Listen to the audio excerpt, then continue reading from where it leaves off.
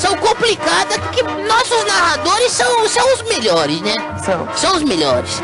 Agora olha a situação do Kleber Machado, coitado, Sempre tendo que Kleber. narrar um jogo onde o cara, o jogador da Holanda chama Cocu. Como chama? Cocu. O jogador da Holanda chama Cocu.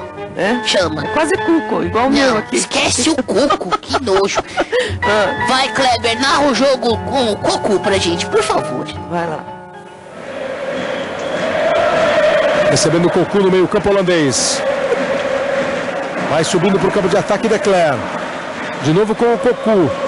Vem para fazer a cobertura. Maxi Rodrigues.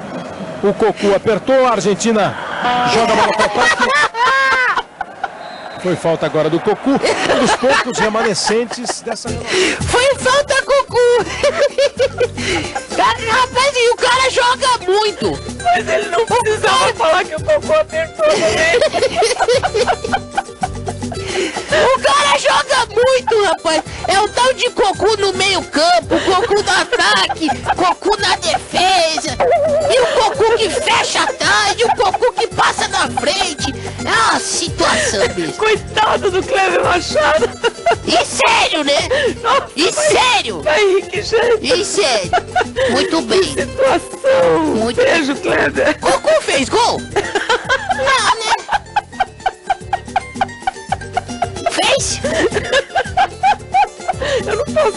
É que tava todo mundo marcando o Cocu. Muito bem.